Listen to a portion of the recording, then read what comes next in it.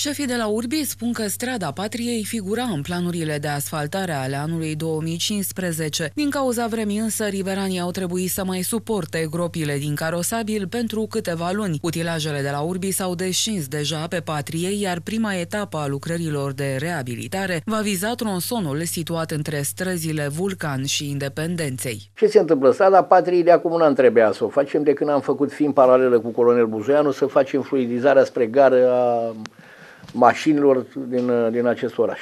E, nu s-a putut că ne-a prins timpul, n-am reușit și am atacat-o acum odată cu îmbunătățirea vremii.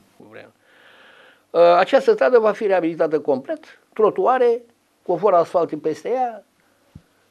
Am început tronsonul de la Independenței spre Vulcan, din considerentul că pe tronsonul Independenței Unirii trebuie să schimbe Uh, compania de apă să schimbe coloana de apă. După finalizarea primului tronson, vor începe lucrările pe porțiunea cuprinsă între străzile Independenței și Spiru Haret, zonă în care compania de apă modernizează infrastructura și pe această porțiune edilii promit că vor reabilita inclusiv trotuarele. În momentul în care va termina aici, sperăm că terminăm și noi tronsonul să ne mutăm între Independenței și Unirii și după aceea Unirii uh, Spiru Haret, deci bucata asta.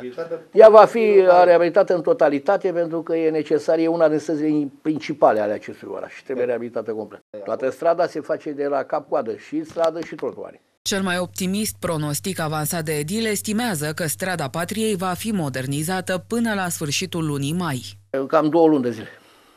Cam două luni, dar depinde că totul e relativ. Că poate să plouă o săptămână, să nu poți să lucrezi. Dar nu o să oprim lucrul acolo până nu terminăm. Pe tot parcursul lucrărilor, traficul rutier nu va fi oprit în zonă.